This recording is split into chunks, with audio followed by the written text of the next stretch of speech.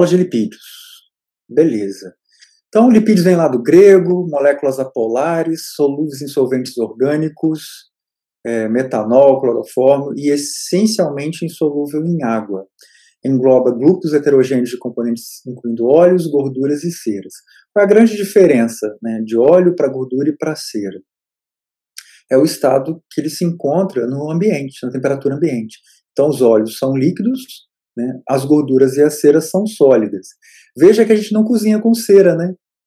Acho que a única cera que a gente tem acesso mais tranquilo é a cera de abelha, que a gente acaba usando quando a gente come, acaba consumindo quando come favo, de, o favo do mel.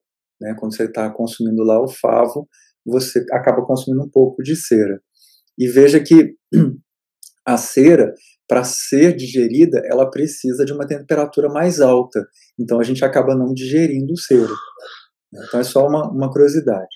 Lembrando que a grande parte dos óleos essenciais né, que são extraídos das, das plantas e que a gente usa como, como tratamento muitas vezes, vem numa base oleosa.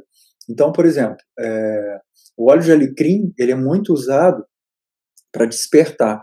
Então, tem um trabalho mostrando que o uso de óleo de alecrim aumenta a sua capacidade de reter informação. E aí, como é que você usa esse óleo? Você pega o óleo de alecrim, coloca uma gotinha na palma da mão, esfrega tá? e cheira você vai ver que se você tiver com sono, se você tiver com alergia, é, tudo isso ele melhora. Por quê? Ele ativa lá no cérebro os neurônios. Então tem um trabalho mostrando o aumento da, né, da capacidade de aprendizado com a presença de óleo de alecrim. Uma outra forma que você pode também usar esse óleo é pegar um difusor, colocar, que é aquele coisinha que você coloca uma velinha embaixo, coloca a água e pinga de 3 a 5 gotinhas de óleo de alecrim e deixa no ambiente onde você está estudando. Isso ajuda bastante o seu cérebro a ficar mais ativo. Então, quando você está com muito sono e que você precisa estudar, esse óleo é fundamental. Da mesma forma, se você, por exemplo, precisa regular o seu ciclo circadiano, né, o seu dormir e acordar, modular cortisol, você vai usar o óleo de lavanda ou o óleo de camomila. Então você vai usar o difusor, vai colocar ali, vai colocar no quarto, vai acender, é, sempre colocar isso num lugar onde, né, onde não tenha risco de incêndio, por favor. Então se você tiver um difusor elétrico é, é, é mais interessante. E aí procura um difusor que, que desligue quando a água acaba. E aí você vai conseguir dormir melhor e com isso modular o seu cortisol. Então veja que os olhos, eles são dados para a gente na graduação de uma forma mais assim, ah, óleo faz mal, óleo não faz bem. E aí a gente precisa mudar essa, essa perspectiva. Todo alimento, né, tudo que vem de origem alimentar, que é, é colocado dessa forma, tem um princípio ativo e tem uma ação no organismo. Então eu não posso endemonizar o alimento, e eu também não posso endeusar nenhum alimento. É, e os alimentos e as plantas, eles são usados pelos nutricionistas para o benefício das pessoas. Tá? Então, para você poder fazer isso, você precisa entender do que você está fazendo, precisa conhecer. Então, há muito tempo atrás, o, a gordura saturada era colocada como algo ruim. Hoje em dia, a gente já não coloca a gordura saturada como ruim. Existem inúmeros processos no organismo que precisam de gordura saturada. Tá? Então, vejam que é, não existe a vilã, né? a gordura não é o vilão. Não é a gordura que te faz engordar, é a sua relação com a alimentação que te faz engordar. E não é só a caloria que te faz engordar, é todo um processo que te leva a ganhar peso. E aí você tem que estar atento, é, é, né? tem que estar atento a esse, a esse processo para que você entenda melhor. Eu vou só desligar meu celular aqui, que o Paulo está mandando mensagem e eu estou desconcentrando. É, classes de lipídios. Então, a gente classifica os lipídios em ácidos graxos, em glicerolipídios, glicerofosfolipídios, esfingolipídios e esteroides. Então, veja que só nessa, nessa quantidade de coisa aqui eu tenho um monte de coisa importante. O que vocês mais se atentam são os esteroides por causa da disciplina, né? A nossa disciplina é a nutrição atividade física, e eles vão ter um papel importante para a gente. Mas a gente tem lipídios importantíssimos né, relacionados ao sistema nervoso central. Por isso que precisa-se ter o consumo de lipídios de todas as formas para a gente conseguir ter um bom desempenho cerebral e, com isso, um bom desempenho do corpo também. Olha lá os lipídios simples, né? Subclasse acilgliceróis ou glicerídeos, que é o glicerol mais o ácido graxo, né? um álcool de cadeia longa mais ácido graxo, de cadeia curta, que são as ceras. Então, a cera ela é formada com um álcool e um, um TCC, que é um triglicerídeo de cadeia curta. Tá? E os triglicerídeos de cadeia curta eles são muito importantes. Tá? Eles são produzidos principalmente pelas bactérias lá no intestino, né? E eles fazem um papel importante na nossa vida. Lipídios compostos, fosfoacilgliceróis ou fosfolipídios. Então eu vou ter o glicerol, ácido graxo mais fosfato, mais outro grupo contendo nitrogênio. Exemplo: lecitina, cefalina, fosfadilcerina e Esfingomelina, esfingosina, mais fosfato, mais colina. Cerebrosídeo, é, mais ácido graxo mais açúcar simples. Gangliosídeos, esfingosina mais ácido graxo mais carboidrato composto. Glicoesfingolipídios, componentes da superfície celular e tecidos animais. Especificidade de grupos sanguíneos. Então, olha que, né, que interessante até o nosso grupamento sanguíneo está relacionado com lipídio. E os lipídios derivados são materiais insolúveis em água, mas que não, não são lipídios simples, né? ou compostos. Então eu tenho carotenoides, esteroides, vitaminas lipossolúveis e prostaglandinas. Veja que as vitaminas lipossolúveis se enquadram em lipídios derivados. Então, da importância. Quando você tira o lipídio da dieta, você também tira o aporte de vitaminas lipossolúveis. E não é incomum a gente ter problema com isso, principalmente com vitamina A. Tá? Então, estrutura dos ácidos graxos, só para relembrar para vocês, né, eu vou ter aqui é, um, um, um ácido de cadeia carbônica longa, normalmente contendo um número par de carbonos. Né, e aqui ele está completamente saturado, então se ele é saturado, ele é uma cadeia reta, e aqui ele está insaturado com uma dupla ligação. Veja que essa dupla ligação muda o plano da molécula. Tá? Ela começa a ficar não linear.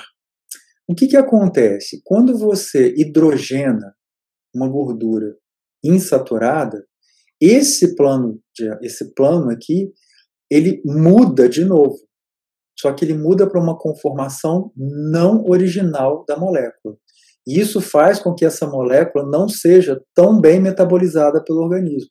Por isso que a gordura trans ela acaba sendo aterogênica, ela acaba sendo carcinogênica, porque como o organismo não consegue metabolizá-la muito bem, ela acaba tendo outros efeitos que não os efeitos que ela normalmente teria. Tá? É, e aí ficar atento a esse processo. Então eu tenho, por exemplo, ó, saturado com 18 carbonos, monoinsaturados, tá? com uma insaturação no carbono 9. Então olha aqui, eu sempre conto daqui para cá, tá? Ó, 1, 2, 3, 4, 5, 6, 7, 8, 9. Então aqui está a dupla ligação. O que, que é um poliinsaturado com duas duplas ligações? Ó, ômega 6. 1, 2, 3, 4, 5, 6. Tá bom? E o ômega 3, 1, 2, 3. Tá? Então, aqui um poliinsaturado com três duplas ligações. Tá? Então, essa leitura ela é importante, porque existe uma diferença grande entre ômega 3 e ômega 6. Tá? Então a gente sabe que o ômega 3 é anti-inflamatório, já o ômega 6 nem tanto. Tá? E o consumo, o alto consumo, por exemplo, de, de ômega 6, de, de, desculpa, de gordura poliinsaturada, ele faz com que haja um aumento dos lipídios plasmáticos e uma diminuição do HDL. Então a gente não pode consumir muita gordura poliinsaturada também por conta disso. Como é que eu tenho, então, a formação de um triglicerídeo? né? Ácido graxo, ácido graxo, ácido graxo, glicerol, faço triglicerídeo. Cada cadeia aqui vai ter um radical, cada radical vai ter um tamanho de carbono. E aí você vai formando é, os lipídios. Então eu vou ter um triglicerídeo, ó, esse aqui saturado, esse aqui saturado, esse aqui poliinsaturado. Viu como a conformação muda drasticamente? E aí o que, que acontece? Imagina isso na sua membrana. Vai fazer uma diferença muito grande. Tá? Olha lá os glicerofosfolipídios. Olha o radical fosfato, como, como modifica tudo isso. Tá? Aqui olha a dupla ligação, mudando né, a conformação. Então, só para. Isso aqui é só para. Essas imagens estão um pouco borradas, gente. Depois eu vou melhorar isso, tá? É, só para mostrar para vocês, tá? Sfingolipídios, né? Que aí tem a sfingosina, só para fazer uma revisão mesmo. E os esteroides. Então, qual é a grande característica do, do esteroide? É que ele tem uma cabeça polar tá? e um núcleo esteroidal, que é esse núcleo aqui. Tá? Desculpa, esse núcleo aqui. Tá? Então eu vou ter, por exemplo, ésteres de, ésteres de colesterol. E aí parte dos hormônios esteroides são derivados de colesterol. Tá? Então a importância da gente ficar é, atento ao colesterol. Mesmo que você diminua a ingestão de colesterol, o seu organismo vai continuar produzindo colesterol. Então o que, que acontece? Os trabalhos mostram que para a maioria dos indivíduos que têm uma hiper é, hipercolesterolemia, não adianta muito diminuir a, a gordura dietética. Se você consumir em excesso, óbvio, você vai aumentar o colesterol. Mas cortar não diminui o colesterol desses indivíduos. O que você precisa fazer é trabalhar o metabolismo deste colesterol. Então, o que você precisa fazer? Aumentar a ingestão de fibras, tá? Para fazer com que esse colesterol seja arrastado nas fezes para fora, e aí você consegue tirar o colesterol de dentro do organismo e fazer com que o, o, essa, essa injeção de, fi, de fibras, com que o lipídio diminua a produção de lipídios hepáticos, que vai fazer com que automaticamente esses lipídios caiam na corrente sanguínea. Tá? Então, como é que a gente classificaria isso? Né? É, ácidos graxos derivados bioquímicos, então eu tenho ali, ó, lipídios de armazenamento, são apolares, e aí eu vou ter os triglicerídeos, principalmente glicerol, né, os ácidos graxos, lipídios de membrana, que são polares, eu tenho os fosfolipídios, e aí eu tenho os glicerofosfolipídios, que vão ter fosfato e grupamento, normalmente contendo é, nitrogênio, né? Os esfingolipídios, eu vou ter a esfingosina, o ácido graxo, o fosfato e a colina. Tá? E os esfingolipídios, a esfingosina, o ácido graxo e o carboidrato. Tá? Então, esses são polares, e eles estão presentes lá na membrana. Esses são apolares, e eles estão presentes principalmente nas células de lipídio. Ok? Então, imagina, quando você tira os lipídios da dieta, você também tira todo esse grupo aqui, você não tira só esse tá? porque essas coisas não são separadas. E aí isso acaba podendo comprometer o organismo. Então, ácido graxo, glicerolipídio, então tem uma glicose, né, um, um, carboidrato aqui, glicerofosfolipídio, tem um fosfato, o carboidrato e o nitrogênio, esfingolipídios, veja a formação aqui, e esteroides, que aí eu tenho um anel lipídios contendo unidades e lipídios contendo unidades isoprenos que não são é, tão comuns para a gente trabalhar. Tá? Quanto à nomenclatura, que é legal para vocês entenderem, quanto ao número de átomos de carbono indicado por prefixos gregos. Então eu tenho com 12, dodeca, 14, tetradeca, 16, hexadeca, 18, octadeca, C20, eicosa e 22, docosa. Então, vocês têm, por exemplo, o ácido eicosanoico. Tá? Toda vez que você virar falar assim, ácido eicosanoico, eita, que coisa é essa? Bom, é uma coisa grande. Se é grande, tem 20. Tá? Só para você guardar. Então, o ácido eicosanoico tem 20 carbonos. Ok? De, decoisanoico, né? Docosanoico, desculpa, 22. Tá? E assim você vai, vai guardando esses nomezinhos. Presença de ligações duplas. Saturados, sufixo anoico. Insaturados, sufixo, sufixos enoico.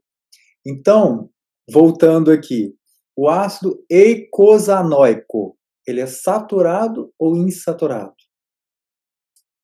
Escreve aí no chat se vocês não quiserem responder. Eicosanoico.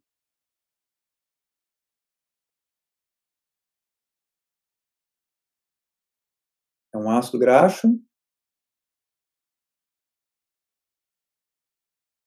Saturado. Isso, isso mesmo, Carolina. E é importante vocês terem essa noção. Então, imagina, é, li, é, por exemplo, quando você estiver trabalhando e você estiver fazendo a leitura das coisas, a maioria das pessoas vão ficar lá nos macronutrientes, mas vão ficar nos macronutrientes relacionados a calorias. É, se você procurar, depois eu vou dar para vocês um site que vocês vão procurar as interações entre medicamentos, vocês vão ver que dependendo da saturação do ácido graxo, ele tem uma interação maior ou menor. E isso, em pacientes críticos, pode ser muito importante. Isso em performance vai ser muito importante para vocês. Né? Então, se eu tenho, por exemplo, o número de duplas ligações, uma, enoico, duas, dienoico, três, trienoico, quatro, tetranoico, cinco, pentenoico, seis, hexaenoico. Quanto à isomeria geométrica, Z é cis, E é trans. Isso faz muita diferença. Tá? Então, olha só, quando você pensa assim, eu estou saturando a minha, a minha membrana. Eu estou aumentando a quantidade de gordura saturada do meu organismo. Eu estou com uma dislipidemia. Isso significa que o meu sangue tem lipídio demais. Significa que eu tenho uma quantidade grande de gordura saturada no meu corpo. E aí as minhas células também vão ter da mesma forma essa gordura saturada. Então, essa gordura na membrana se comporta desse jeito. Se eu tenho insaturado, eu vou ter essa conformação aqui. Pensa o seguinte: se eu tiver uma membrana mais saturada ou menos saturada, vai fazer diferença na absorção? Sim ou não? Vai, né? E vai fazer muita diferença. Então é muito mais fácil eu conseguir instalar uma proteína nesse espaço aqui, ó, do que eu tentar instalar uma proteína entre esse espaço. Tá? Então, a membrana precisa ter uma certa fluidez. Por isso que ela é chamada de mosaico fluido. Tá? Então, quanto mais eu saturar essa membrana, mais difícil para o organismo vai ser a absorção desse nutriente.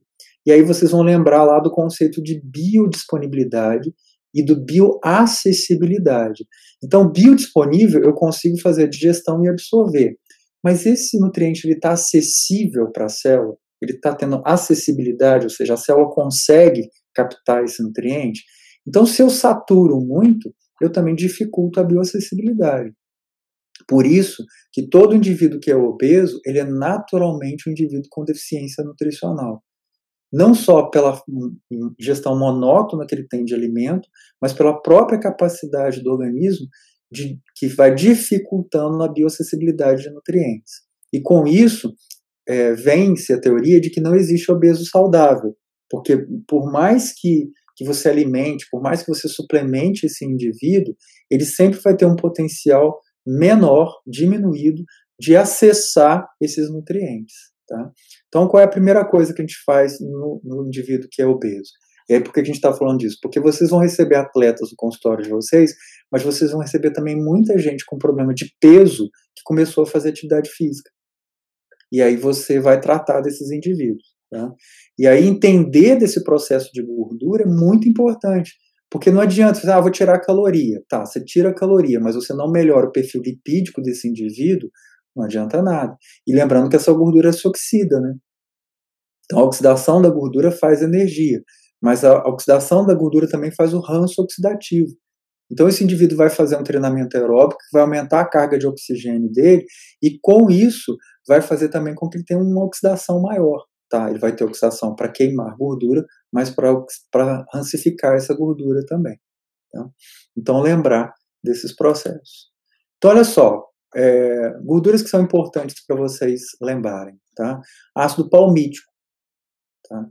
Olha só, que é, né, tá, tá relacionado ao palmitato. Ele é completamente saturado.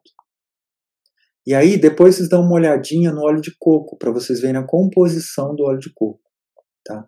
Olha o ácido linoleico. Ele tem, que é o ômega 6. Tá? É, ele tem ó, uma, duas saturações. Insaturações, desculpa.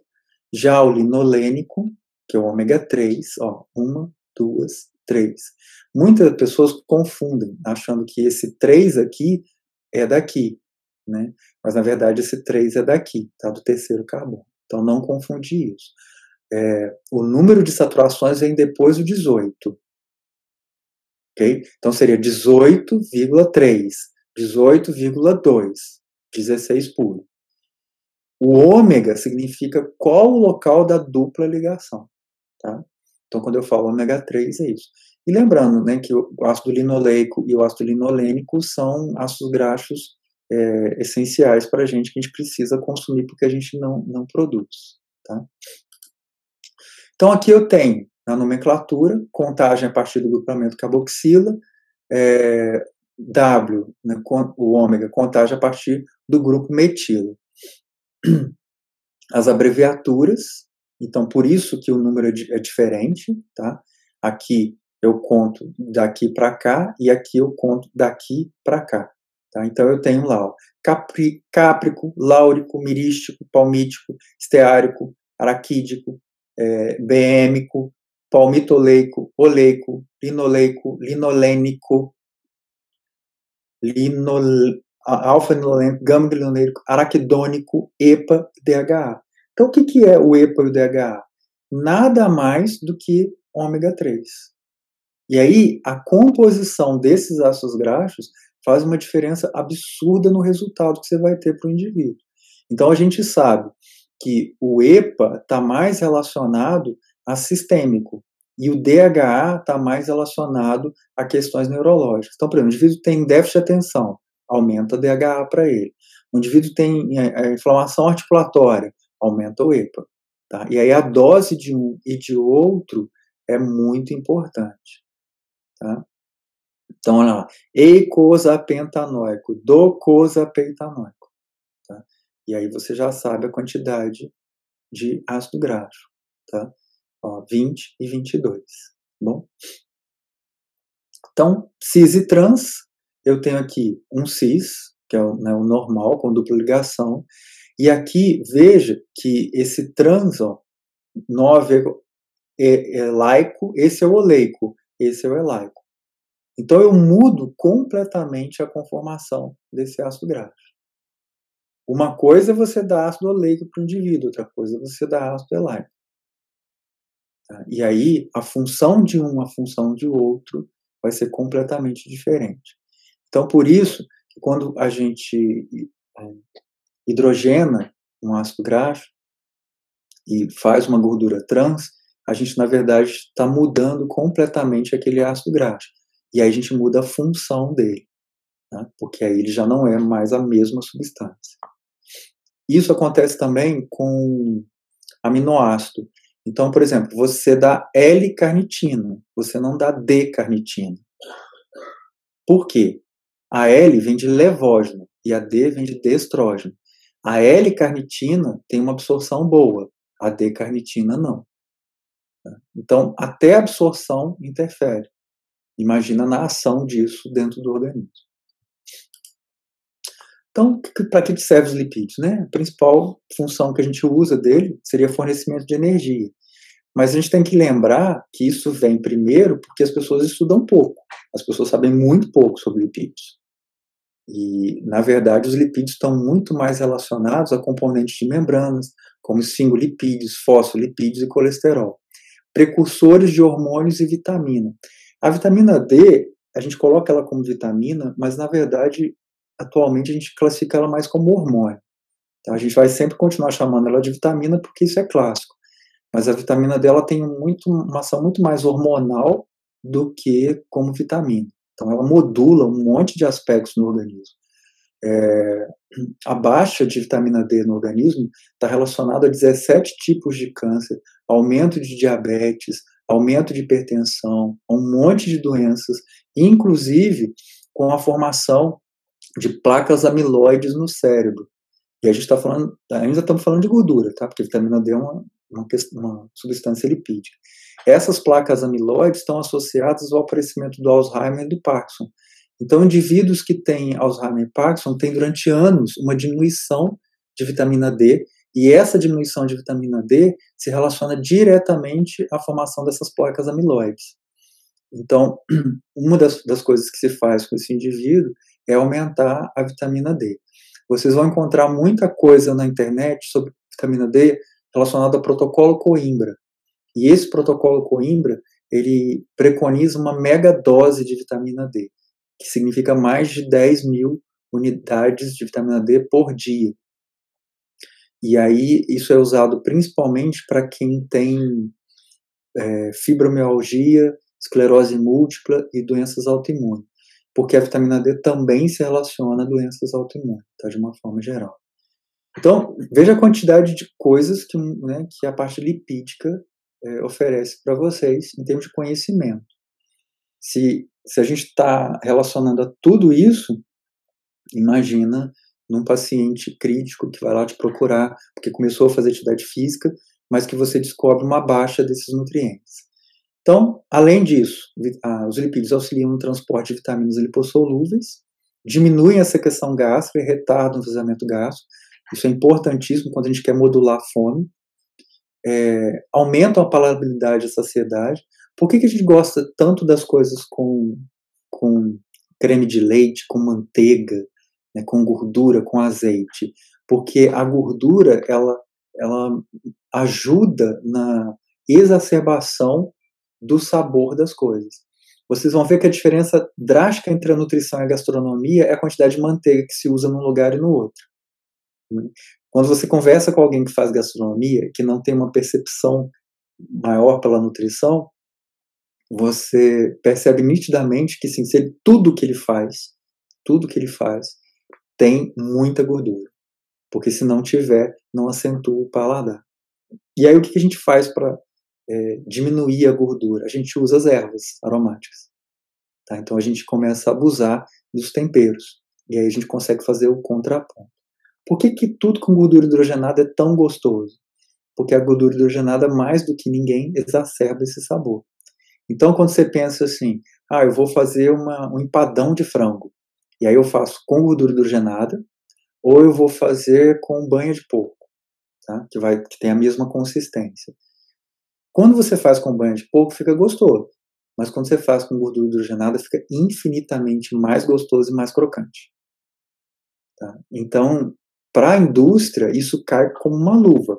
Ela aumenta a capacidade de favorecer o sabor e ela aumenta a crocância dos alimentos. Bom, o que, que a gente quer? A gente quer um alimento crocante e saboroso. Tá? Óbvio que a gente vai viciar nesse tipo de coisa. Então, quanto menos você puder dar para um indivíduo coisas com gordura hidrogenada, melhor. A partir de 2021, a gordura hidrogenada está proibida no Brasil. Nos Estados Unidos já está proibido, acho que há mais de cinco anos. É, eu não, não acredito que isso vá acontecer.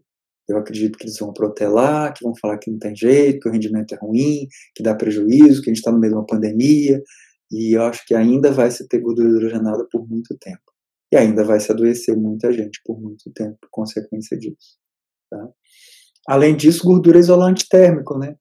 Se, por um lado, os, os gordinhos sentem menos frio, por outro, eles sentem muito calor no verão. Não é incomum você ver um indivíduo que tem sobrepeso ter é, sudorese nessa parte aqui.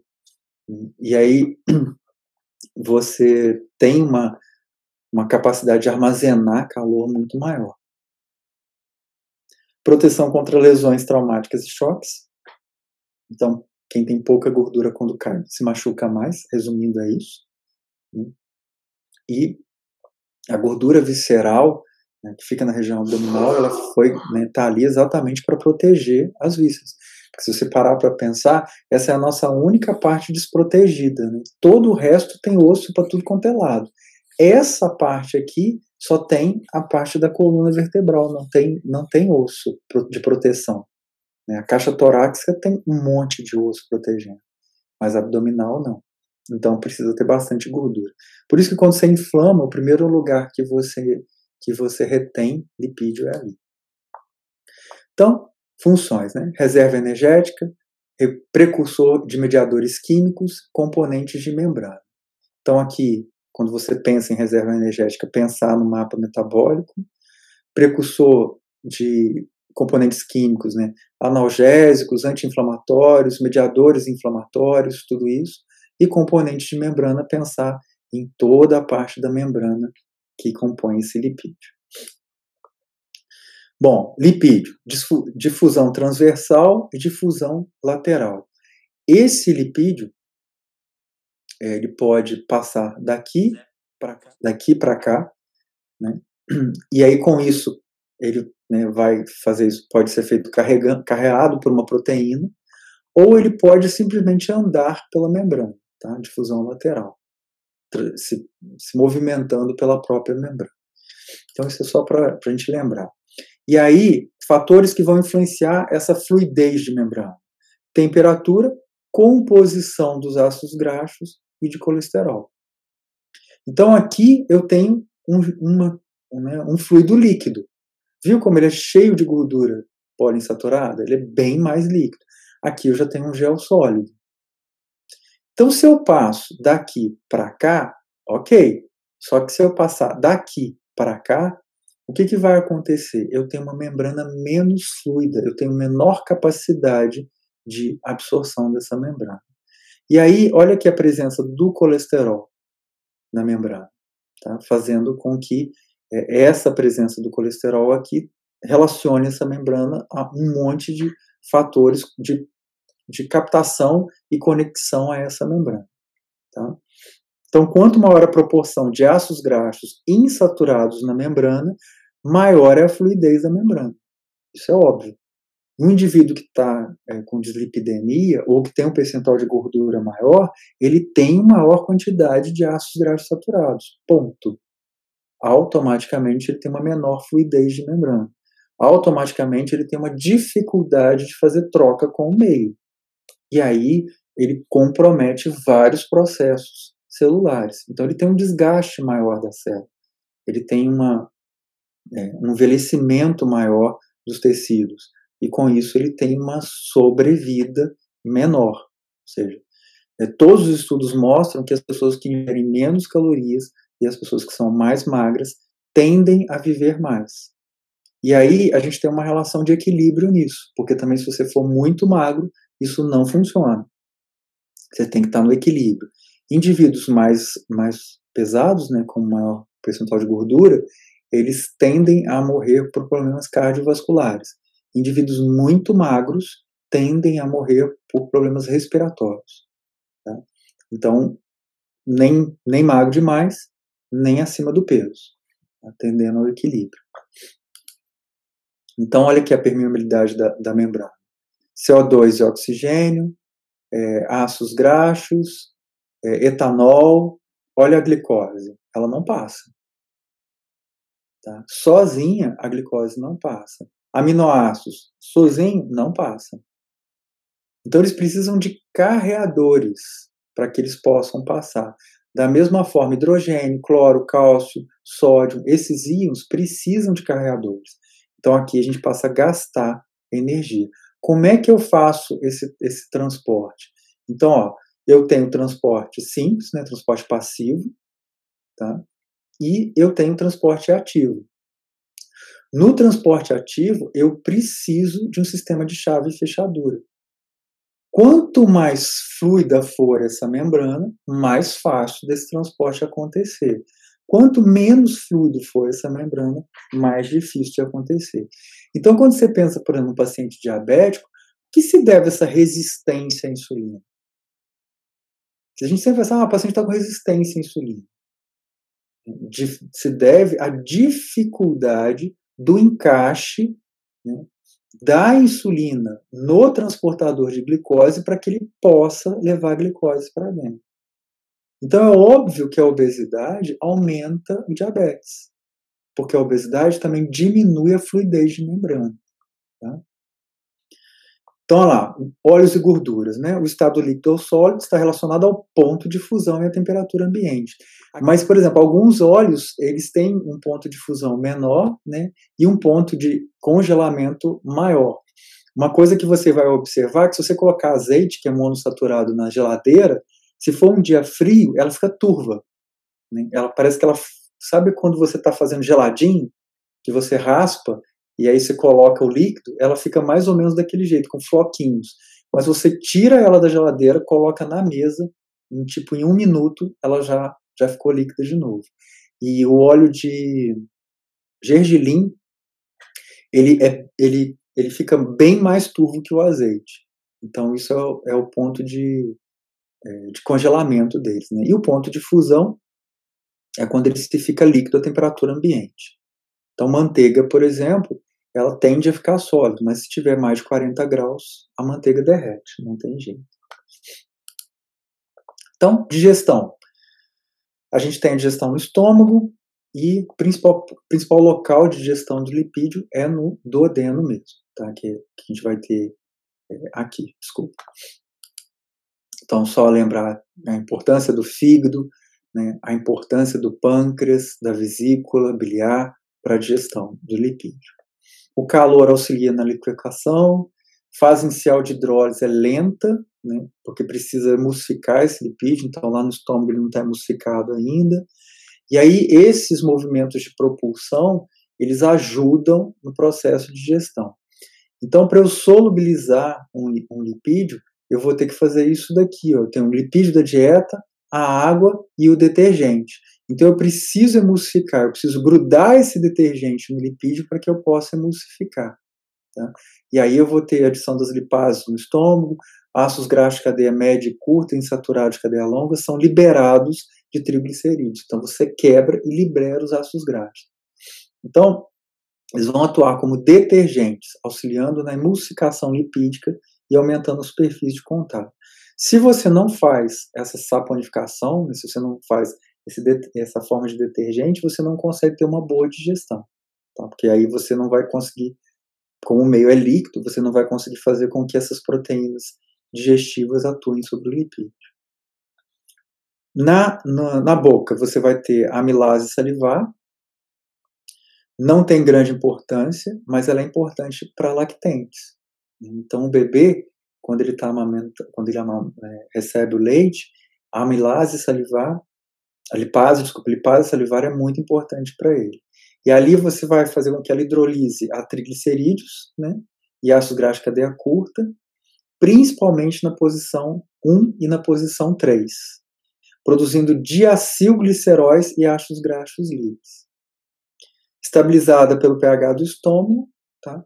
pode agir também na orofaringe e no duodeno.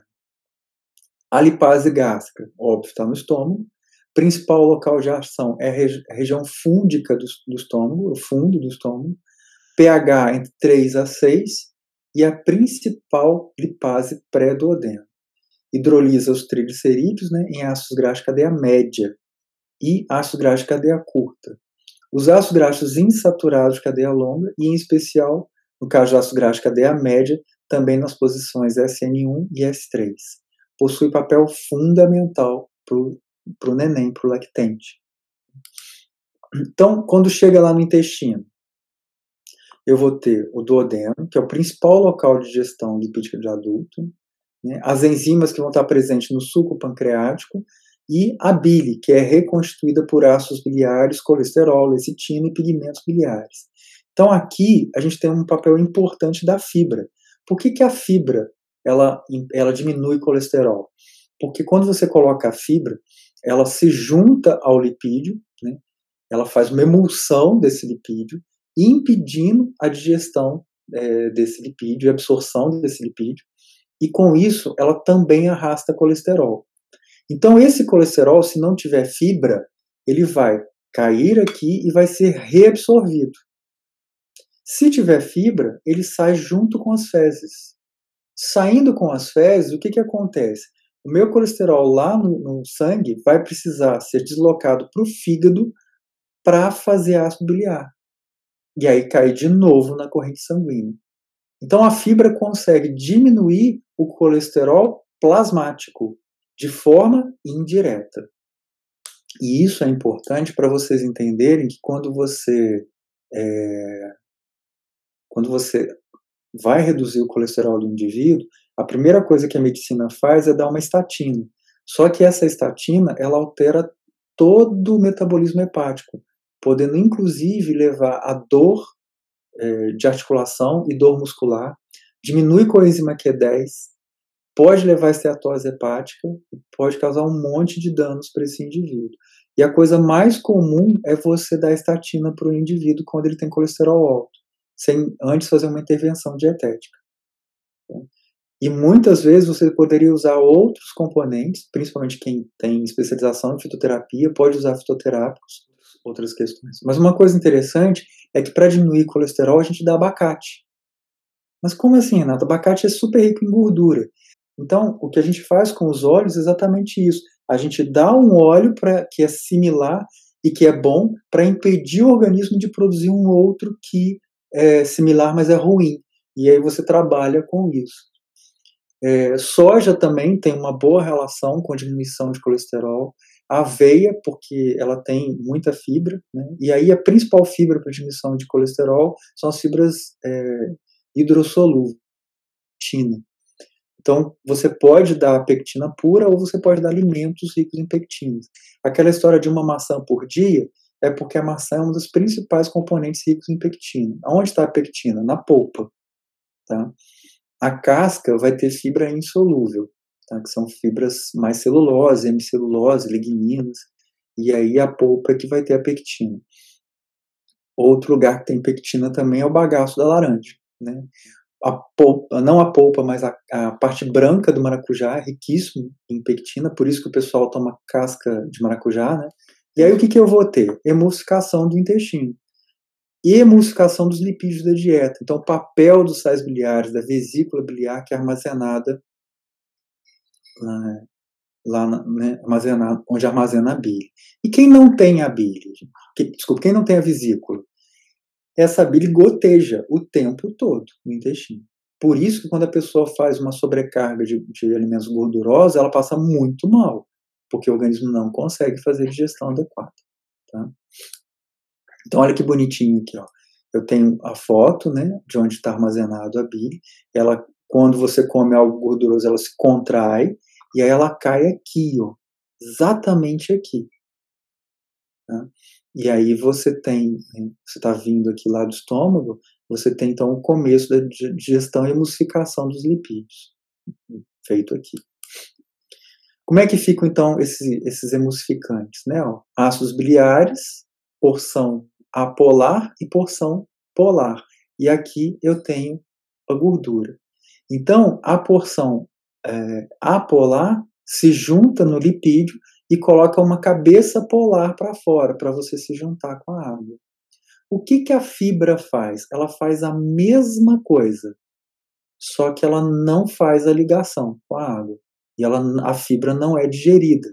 Então você, ela emulsifica a gordura e leva embora para as fezes, tá? Então daqui vai lá para o intestino grosso e vai embora.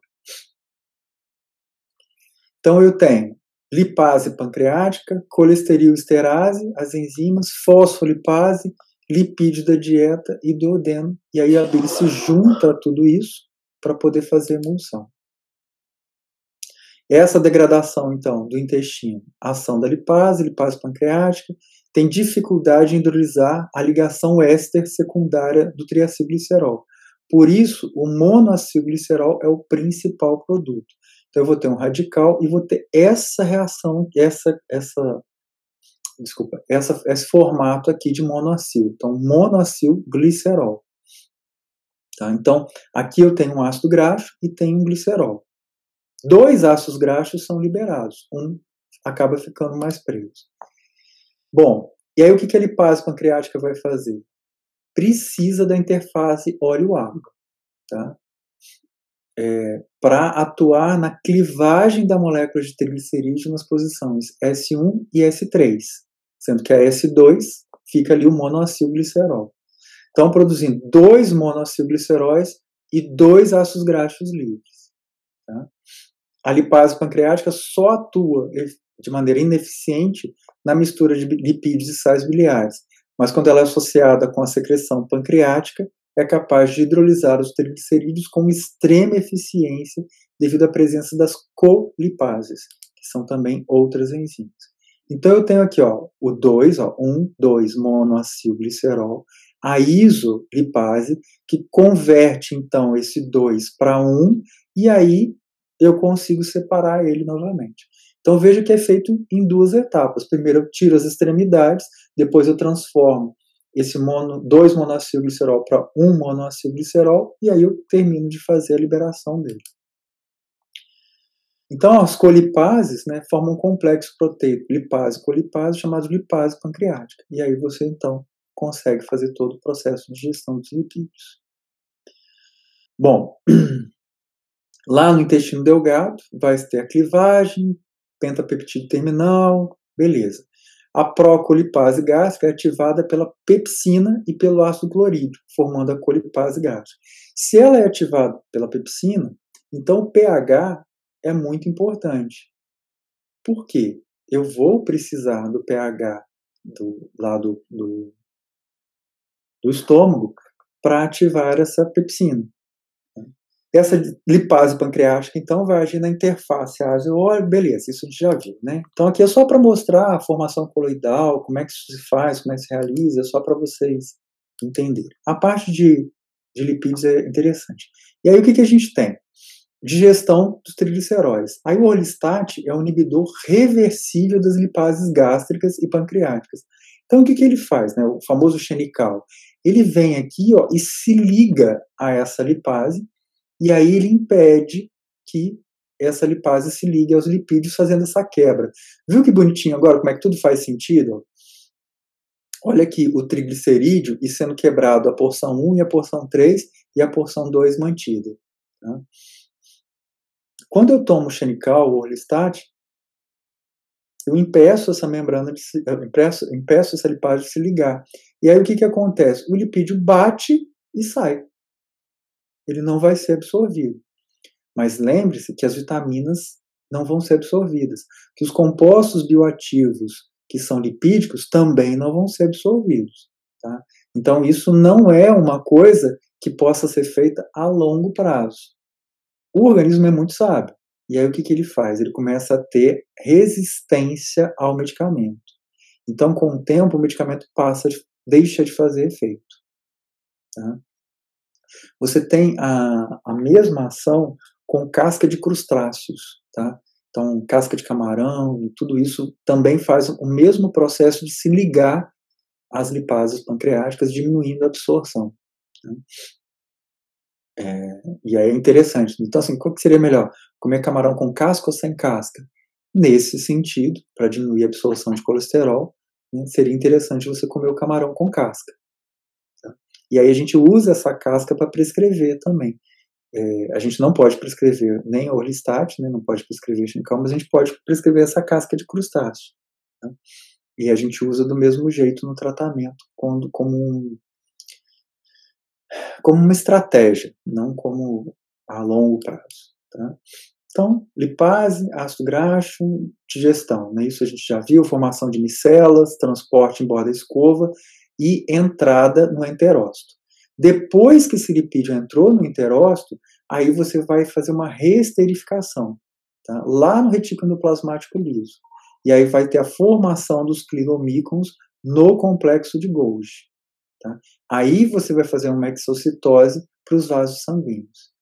Então, eu não pego esse lipídio, quebro ele e jogo na corrente sanguínea. Tá? Eu vou transformar ele em éster, e aí vou transformar ele em quilomicrons, e aí ele cai na corrente sanguínea. Nesse sentido, esse éster né, de colesterol se transforma em colesterol. Tá? E aí eu vou ter a ação da colesterol esterase. Opa. Aqui, então, eu tenho colesterol esterificado, ácido graxo, mais colesterol livre. Lá no intestino, sais biliares, formação de micelas, transporte até a borda escova, entrada do enterócito, formação de quilomicrons, exocitose para os vasos, vasos quilíferos, tá? na linfa. Então, um vai para a corrente sanguínea, outro vai para a linfa. E aí tem todo o processo de gestão de fosfolipídio, que já não é tão mais interessante para vocês, que vocês já sabem. Eu vou passar um pouquinho adiante disso, tá? Como é que eu faço, então, o controle da digestão de lipídios? Colicistoquinina inibe a motilidade gástrica, reduzindo a passagem do conteúdo estomacal para o intestino e aumentando o tempo de digestão dos lipídios da dieta. Então, os lipídios, eles vão fazer uma diminuição né, da motilidade gástrica através da colecistoquinina. Tá?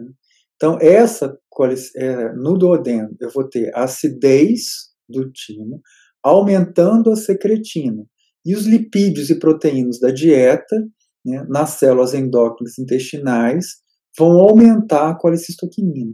Então eu estou comendo, caiu no estômago. Na hora que isso cai no duodeno, essas células mandam uma mensagem para o estômago aumentar a liberação de colecistoquinina e diminuir o esvaziamento gástrico.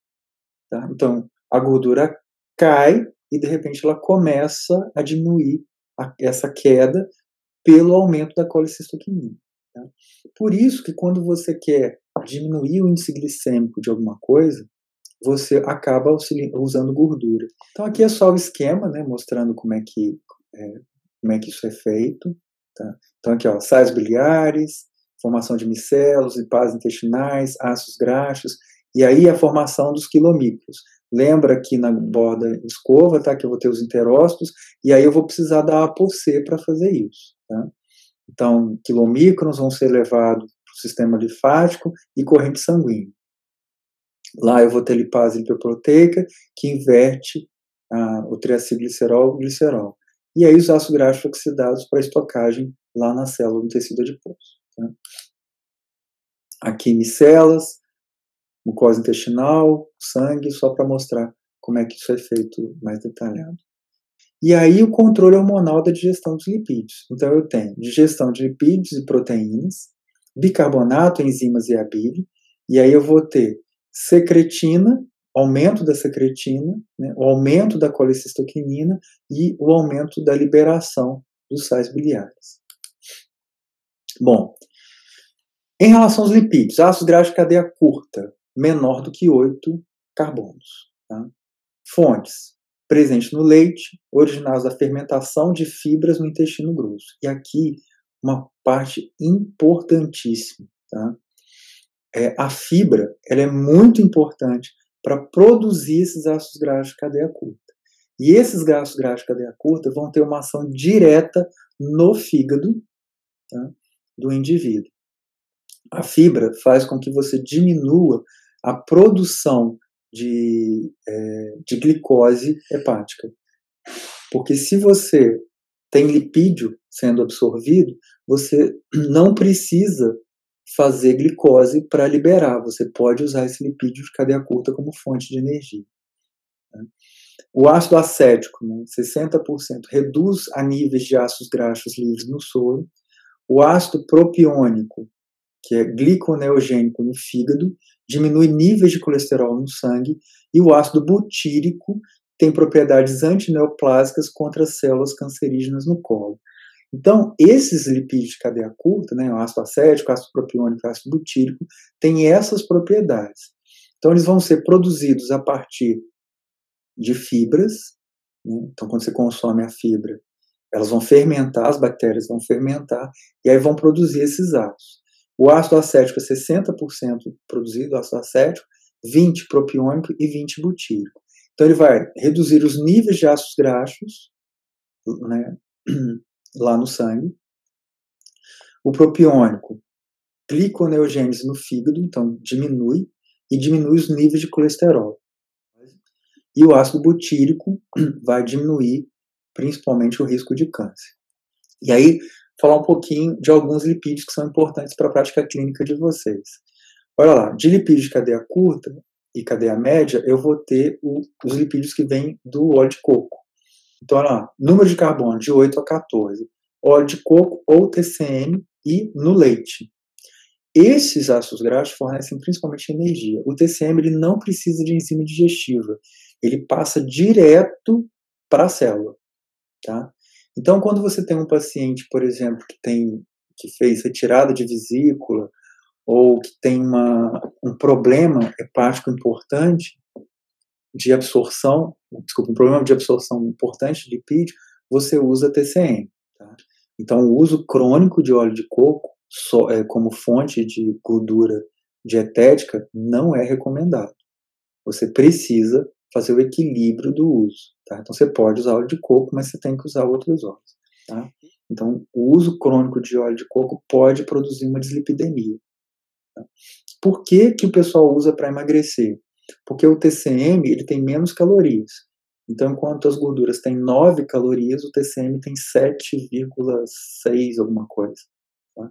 Então, ele tem um pouquinho menos de caloria. Não vai fazer tanta diferença assim. Tá? Mas é, ele é utilizado. E também porque no metabolismo dele ele teria um gasto maior, um gasto energético maior para poder ser utilizado como fonte energética. Da mesma forma, o leite também tem TCMs importantes. Tá? Então, se tem uma coisa que o leite faz bem, é gordura. E aí vem a minha grande crítica à, à indústria. Porque o que, que a gordura, o que, que a indústria tira do leite? A gordura. E aí você está tomando um leite que vai ser cheio de, né, vai ter proteína, essas proteínas tem algumas proteínas que são alergênicas e você tem pouco fator de proteção, que seria o lipídio. E óbvio que a gordura vai incentivar que você tome leite desnatado, dizendo que o leite integral é ruim. Porque mesmo o leite integral não é integral. Você tem ali 3%, 4% de gordura. E o leite integral teria muito mais do que isso. Por que, que é feito isso? Porque a gordura é vendida muito caro. E os ácidos graxos de cadeia longa? você vai ter mais de 14 carbonos, e aí você tem saturados palmítico e esteárico, tá? que são os, os, grandes problemas, e aqui a gente tem um problema sério com óleo de palma, né? por isso que o ácido, ácido palmítico também tem esse nome. O óleo de palma é riquíssimo em ácido palmítico, e rico também em ácido esteárico, o óleo de coco também tem um pouquinho de ácido esteárico. E o que, que acontece? Uh, o óleo de palma, ele é bem saturado e ele tem sido usado no lugar da gordura hidrogenada. É, mas o ácido palmítico, ele não é um ácido que, se consumido em grande quantidade, vai fazer bem.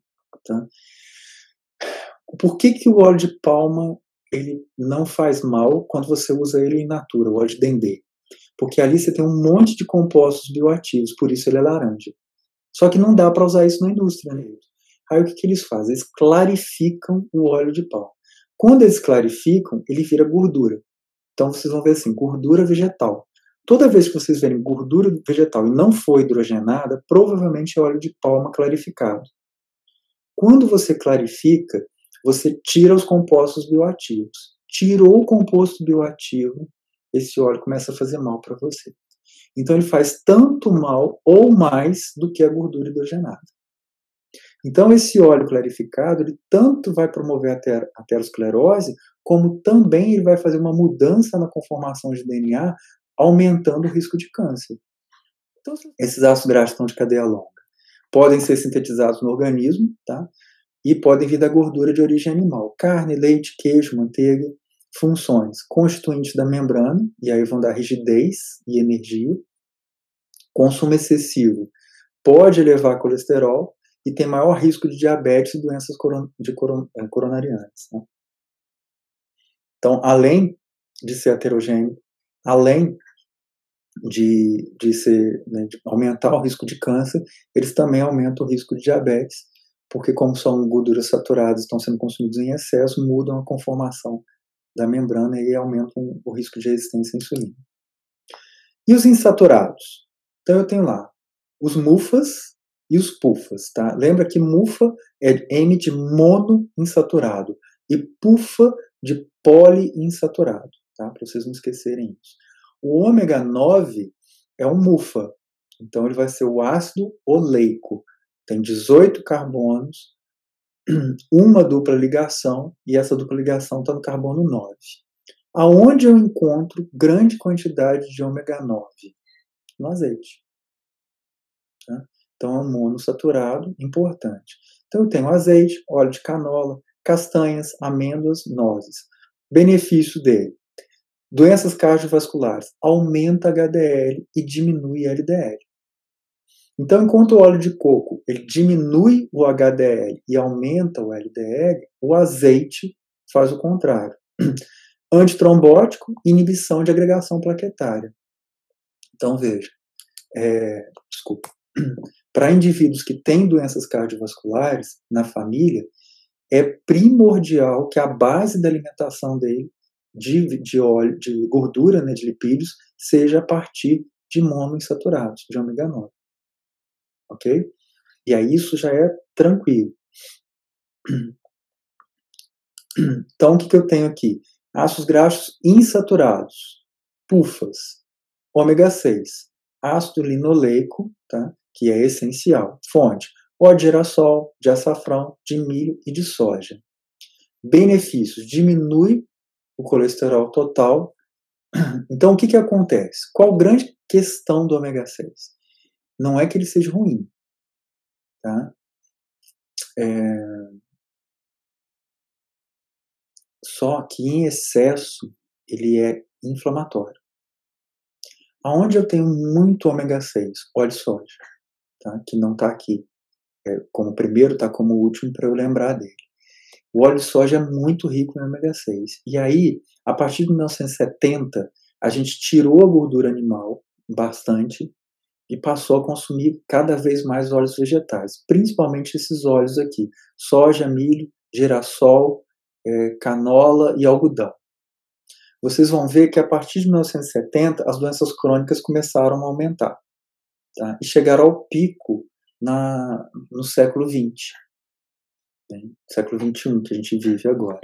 Quanto mais óleo vegetal você consumir, mais doença crônica você vai ter porque esse ômega 6 ele é pró-inflamatório. Então ele aumenta a interleucina 1, aumenta a interleucina 6, ele aumenta a NF-kappa-beta, ele aumenta a prostaglandina, ele aumenta, ele diminui a produção de interferon, ele diminui a produção de, ômega, de interleucina 10, que é anti-inflamatório. Tá? Então quando você consome uma refeição toda à base de óleo de soja, você vai ter isso. Agora pensa no mundo atual. As pessoas consomem óleo de soja para cozinhar e consome produtos é, industrializados ricos em gordura trans ou em óleo de palma. Tem como ser saudável? Não tem. Porque o azeite é caro, então as pessoas usam pouco. Né? E aí, os outros óleos, o, o leite tem pouca gordura, normalmente é, é, é desnatado. Tá? Então você não tem os ácidos graxos bons para se usar. Castanhas de uma forma geral, oleaginosas as pessoas comem muito pouco, que seria uma outra fonte de gordura boa. Então, veja, Ellen, que né, uma pessoa comum, ela vai adoecer. Quanto tempo você acha que demora para uma pessoa adoecer? Se ela faz isso desde a infância. Bom, se ela não tiver fator de proteção nenhum, se ela só consome esses óleos e não consome azeite, não consome castanhas, não consome leite com gordura, lá para os 8, 9, 10 anos ele vai começar a adoecer. Não é isso que a gente está vendo? Crianças com 8, com 10 anos com hipercolesterolemia, com dislipidemia. Então, o que, que a gente tem aqui? Ó? Ácidos graxos insaturados, ômega 3. Ácido linolênico, que é essencial. Fonte, linhaça, canola, soja e nozes. Lembrando que os ácidos graxos de origem vegetal, eles não são fontes de ômega 3 eles são precursores de ômega 3, ok? Então você tem lá um ácido graxo que quando você absorve, ele se transforma no seu organismo em ômega 3. Por isso que a eficiência de ácido graxo de fonte vegetal ela é menor. Então aqui você vai ter uma relação de 30% só. Quando você consome a linhaça, você vai ter uma biotransformação de 30% desse ácido graxo para ômega 3. Tá? Mas ainda assim é relevante o uso. Então é necessário desenvolvimento né, de benefícios, proteção de doenças cardiovasculares, e ali eu tenho o ácido eicosapentaenoico, que é o, o EPA, que tem 20, que tem cinco duplas ligações e tem é, e a primeira está no, no carbono 3. Veja que interessante como agora você consegue ler as coisas. Viu como é mais fácil, é, depois dessa introdução? Você sabe exatamente, ó, 20 carbonos, 5 duplas ligações, e a primeira dupla, ligação está no carbono 3. O ácido decoisanoico, 22 carbonos, 6 duplas, e a, e a primeira ligação no carbono 3. Então, qual é a diferença básica aqui? Né? 20 e 22, 5 e 6 duplas, e aqui mantém-se os três. A função de um e a função de outro é completamente diferente. Né? Lembrando que o uso excessivo de ômega 3 pode aumentar o risco de câncer de próstata em homens que têm histórico familiar para. Ok? Então, tomar cuidado com a suplementação. Fonte: peixe de água fria, salmão, sardinha, cavala, arengue, óleo de peixe e linhaça como precursor. Benefício: diminuição de triglicerídeos, diminuição de colesterol, de LDL, de VLDL e aumento de HDL. Tá? É interessante também você monitorar triglicerídeos, porque em excesso o ômega 3 pode aumentar triglicérides, tá bom? Então ele diminui em doses adequadas. Em doses excessivas, ele pode aumentar triglicéridos. Então, eu tenho lá ó, linoleico ômega 6, linolênico ômega 3. Eu vou transformar esse, esse ácido, esses ácidos graxos em araquidônico, eicosapentanoico, EPA, decosapentanoico 22 e decosapentanoico DHA. Tá? Então, por isso que eles são importantes. Então, quando eu quero é, é, usar um ou outro, eu tenho que lembrar que o linoleico ômega 3 vai me dar um decosanoico 3 e o linolênico ômega 6 vai me dar um decosapentanoico 6. Esse é inflamatório, esse é anti-inflamatório. Tá? Então a diferença é essa. Então ácido araquidônico tá?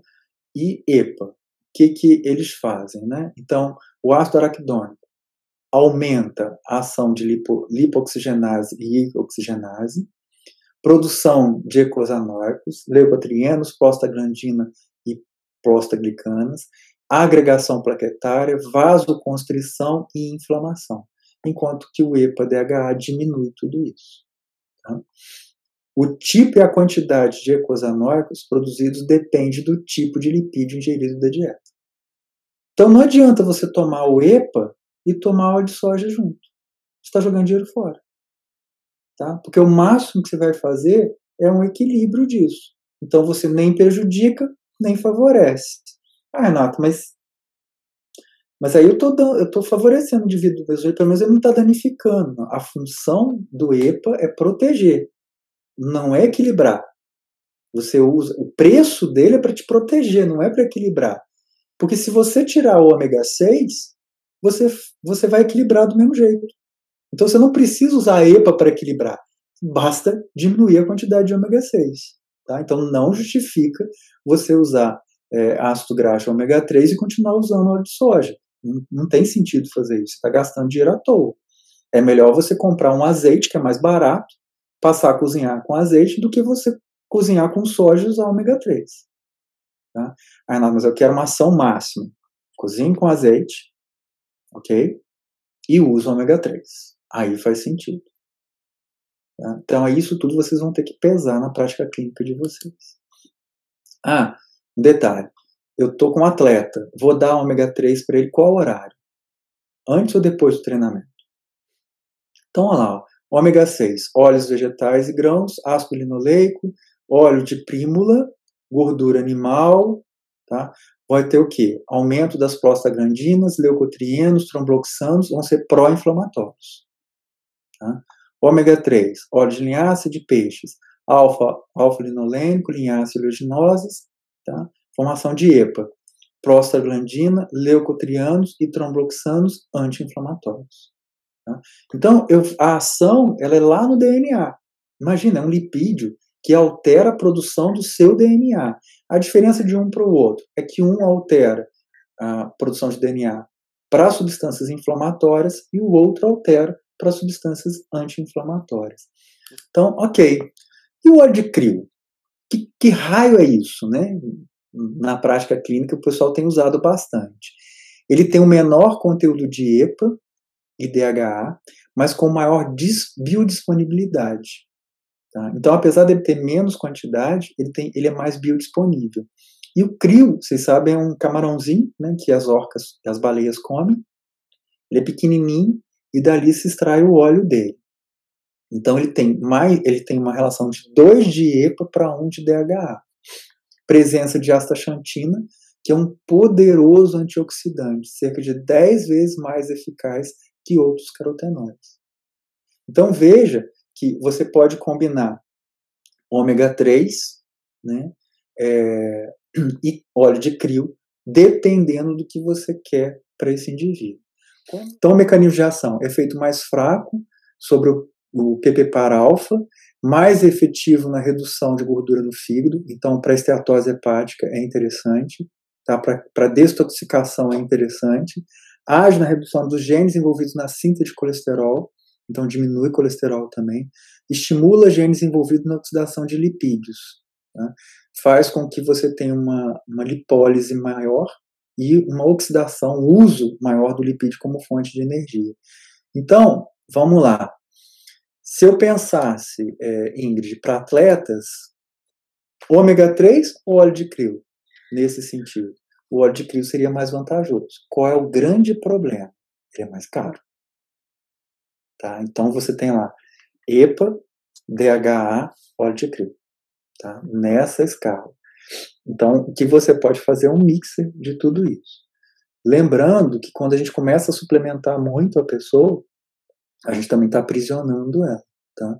E aí você vai levando esse indivíduo a um consumo que tem um impacto importante na condição financeira desse indivíduo.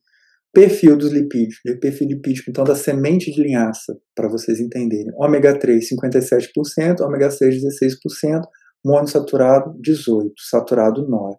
Além disso, ela tem gomas, mucilagens, fontes de lignanas de vitamina E. Quando você dá o alimento, você sempre dá mais do que um princípio ativo. Tá? Você dá um composto. E esse composto pode ter muito mais efeito na vida do indivíduo do que o, o princípio ativo isolado. Então, a linhaça é um bom recurso para se utilizar o problema é a quantidade. Você precisa ali de pelo menos duas colheres de sopa por dia. Então você pode fazer uma farinha de linhaça e essa farinha precisa ser batida e colocado na geladeira. Então para uma semana. Então você pega lá, né, duas colheres por dia, vezes cinco ou seis, né, se você quiser a semana inteira, sete, são 14 colheres. 14 colheres, você bate no liquidificador, põe na geladeira. Usa na outra semana você bate outra. Tá. E aí, esses ácidos graxos trans, né? A hidrogenação parcial durante o processo dos óleos diminui a rancidez e aumenta a vida de prateleira. Então, você vai ter uma biohidrogenação resultante de fermentação bacteriana em animais ruminantes, carnes e leites. Tá? Isso acontece naturalmente. Então, a gente tem ácidos graxos trans no nosso organismo naturalmente. O aquecimento dos óleos vegetais com a formação de isômeros, tá? irradiação de alimentos, que é usado para poder eh, esterilizar ou diminuir esses alimentos. E aí, então, o que, que acontece com esses ácidos graxos né, de cadeia símile, né, que são parecidos? Né? O ácido eládico, isômero trans do ácido oleico. Né? Um estudo da, do Nurse Health, né, Study of Nurse Health, quantidade de trans acima de 7% da energia da dieta, aumento de LDL e diminuição de HDL. Outros estudos mostram que o um aumento de 5% só da quantidade de energia da dieta vinda de ácidos graxos trans já modifica completamente a biotransformação de LDL e de HDL. Então, por isso que está sendo proibido. Tá? Porque realmente é uma questão de saúde pública. Eles vão competir com os ácidos graxos de cadeia longa, vão afetar as propriedades físicas da membrana das células, vão ter uma alteração da agregação plaquetária, tá, da função vascular, efeitos deletérios para o cérebro, piora a resposta à insulina, fator de risco para câncer, aumenta o estresse oxidativo, então aumenta é, a piora da inflamação, afeta o sistema cardiovascular, aumenta a manifestação alérgicas em crianças, inibe desaturases, desviando a síntese de eicosanoico para os derivados dos aminoácidos, que vão aumentar ainda mais os trans. Ácidos linoleico conjugado, CLA, que é muito utilizado hoje em dia, principalmente para atleta. 18, duas duplas ligações no, no carbono 6. Duas duplas ligações são separadas por uma ligação simples, originadas do processo de fermentação do rumen de animais. O isômero 9-cis, 11-trans é predominante. Tá? Então, você tem lá em produtos lácticos de 8 a 9 miligramas por grama de gordura e carne de boi de 8 a 5 miligramas por grama de gordura. Então, os efeitos positivos. Efeitos anticarcinogênicos, redução de aterosclerose, redução da gordura corporal e melhora da intolerância à glicose.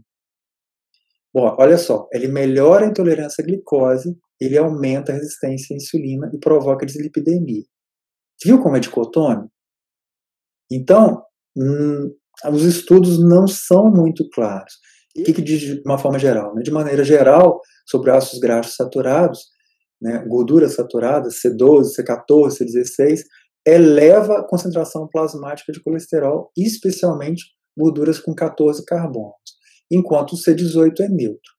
Ácidos graxos saturados também aumentam o HDL e não alteram relação colesterol total HDL.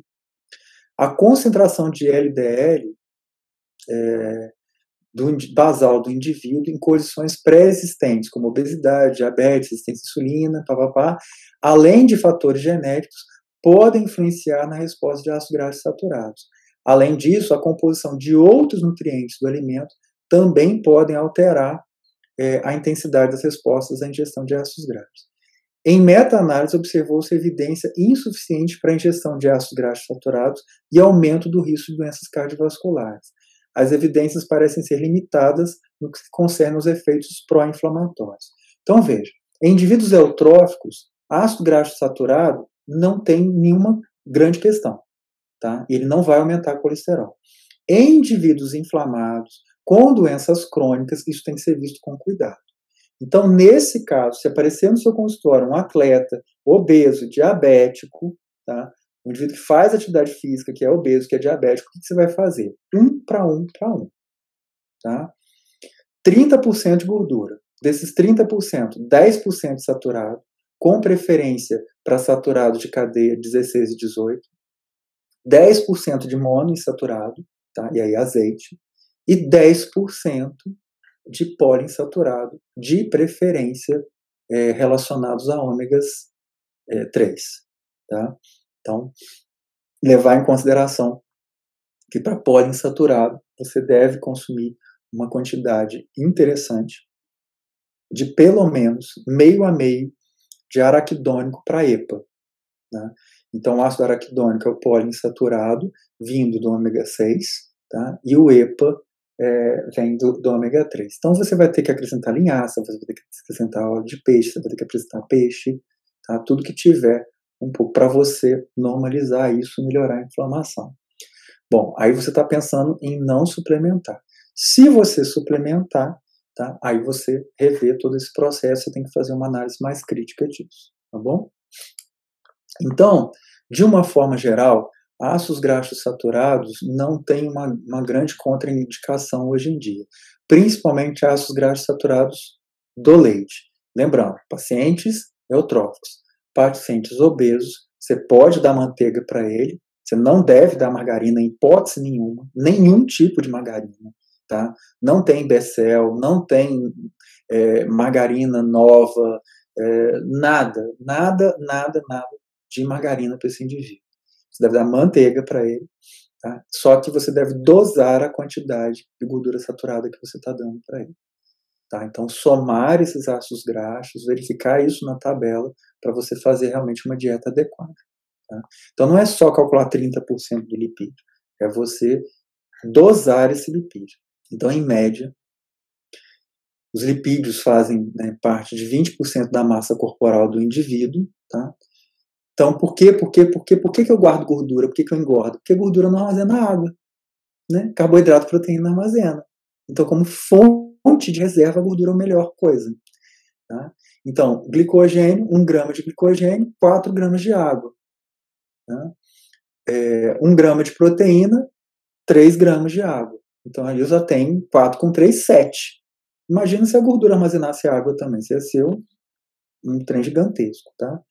E aí eu tenho lipídios como função hormonal, então lembrar da grelina, da resistina, de lipídios pró-inflamatórios, lembrar da leptina, tá? Eu tenho resistência à leptina, indivíduos obesos produzem muita leptina, mas ela se torna resistente igual à insulina, então eu tenho que diminuir a inflamação para poder diminuir a fome. Não tem como diminuir fome sem diminuir a inflamação. É um absurdo fazer uma dieta para um indivíduo obeso, cortando caloria e não dando compostos bioativos para ele. Formação de acetil-CoA, todo o excesso de lipídios se transforma em acetil-CoA. Esse acetil-CoA pode se transformar em ácido úrico, tá? Lembrar disso. Então não adianta para o indivíduo que tem gota tirar só o ácido úrico, você tem que também lembrar dos lipídios. No metabolismo de exercício, a oxidação de ácidos graxos aumenta. Então, quando você é treinado, você gasta mais ácido graxo, você faz mais lipólise. E aí você né, pode usar até 129, 129 mols de ATP por mol de palmitato. Então, o palmitato ele é importante para quem faz atividade física.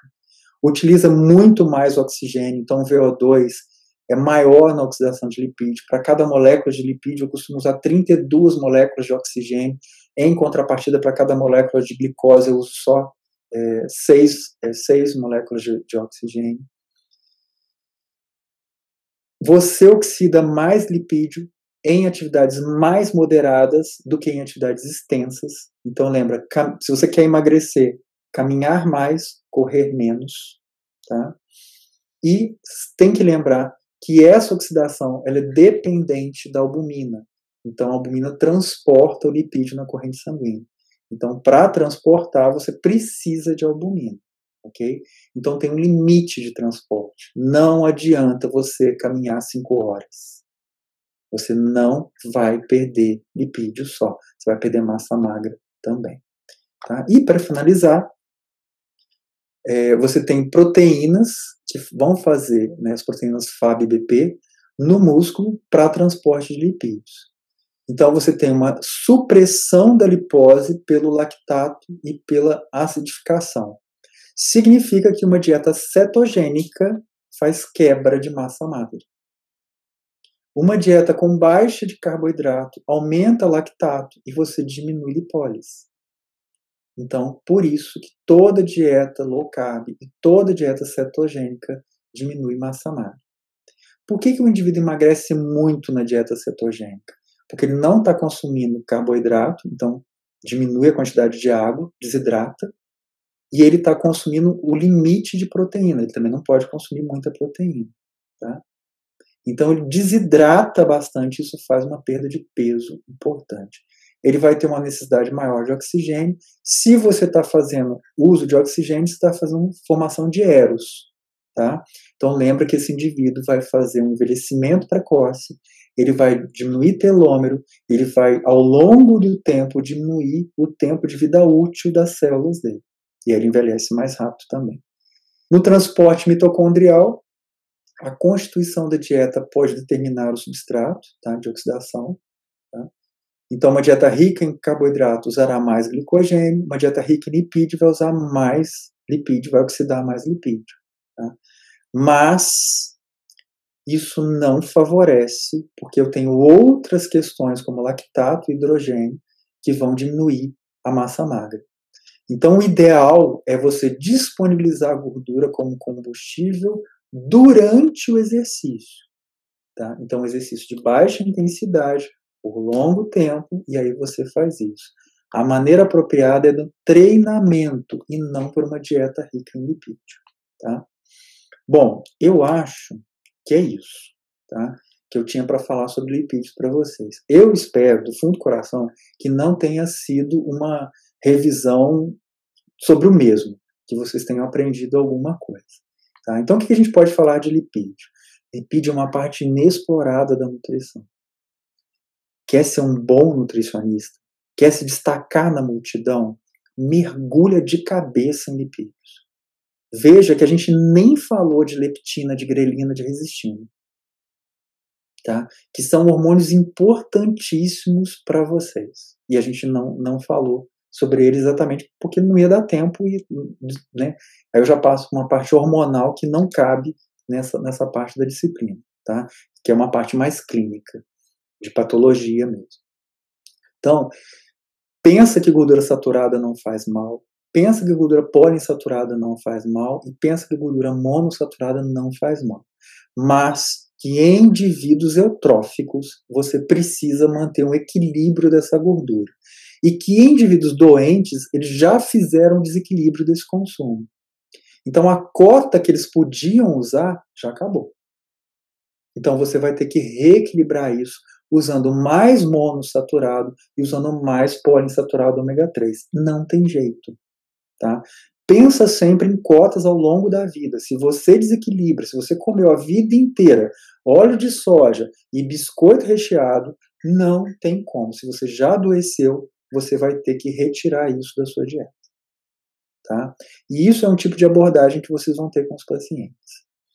Para a gente finalizar, vou deixar aqui é, uma mensagem que existe uma linguagem que está além das palavras. Se eu aprender a decifrar esta linguagem sem palavras, eu vou conseguir decifrar o mundo.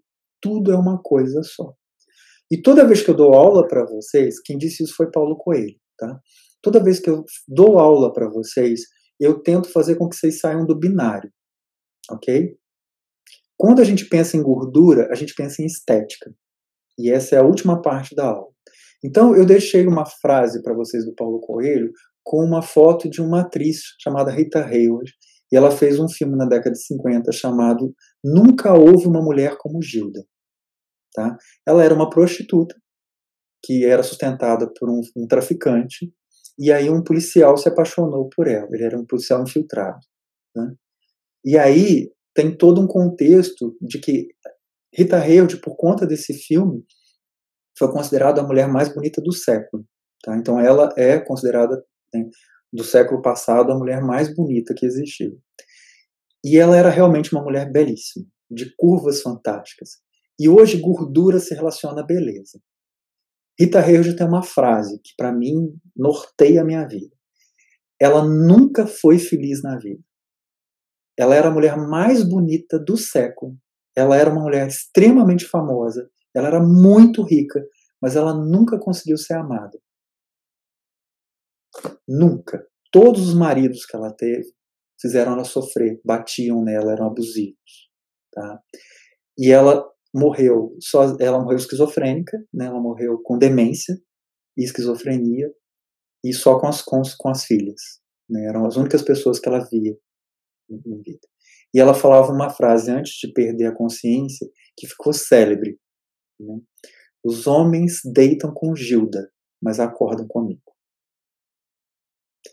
Então, por mais que a gente queira atrair as pessoas pela estética, por mais que a gente queira ser magro, bonito, interessante, cheio de músculo, a gente tem que ter conteúdo.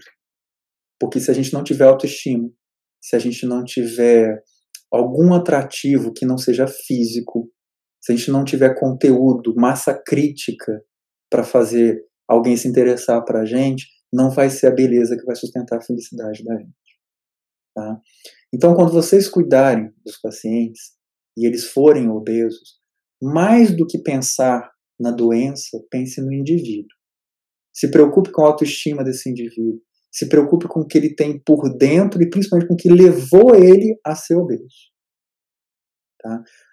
Pense em desinflamar esse indivíduo não só fisiologicamente, mas emocionalmente. Tenta tirar desse indivíduo todos os gatilhos que fazem com que ele seja uma pessoa inflamada. E aí você vai precisar entender de comportamental, você vai precisar de entender de psicologia. Tá? Porque não existe no mundo ninguém que consiga ser feliz apenas com, as, apenas com os aspectos externos. Tá? E a beleza passa. E cuidado como você constrói sua carreira. Se a sua carreira está sendo construída em cima de imagem, você vai pagar um preço alto no meio da sua vida. Porque aos 26 anos você começa a envelhecer. E aos 35 anos você é considerado velho no meio esportivo. Então, se todo o seu status de, de, de construção profissional está em cima do seu corpo, repense isso. Porque aos 35 anos vai ter uma nutricionista recém-formada muito mais bonita do que você e com um shape muito melhor que vai tomar o seu paciente. Porque o seu nicho foi construído em cima de pessoas que visam a estética. Então, faça com que esse paciente se fidelize a você por resultado e não porque você tem um corpo bonito. Não use o seu corpo como objeto. E principalmente para vocês, meninas, não se deixem serem usadas como objeto. Tá? Você pode sim colocar um silicone para se sentir melhor consigo, mas não para atrair os outros para você. Tá? Isso é muito sério.